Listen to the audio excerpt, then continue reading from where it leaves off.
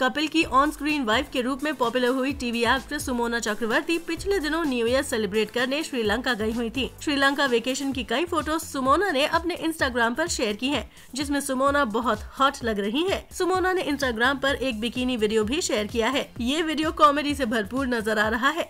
पाँच दिन के इस वेकेशन ट्रिप में सुमोना फ्रेंड के साथ चिल करती नज़र आ रही हैं। अभी वीडियो को लाइक करें, शेयर करें और अभी चैनल को सब्सक्राइब करें। इसी तरह की चटपटी न्यूज़ देखने के लिए फिर मिलेंगे मसालेदार खबरों के साथ। Bye bye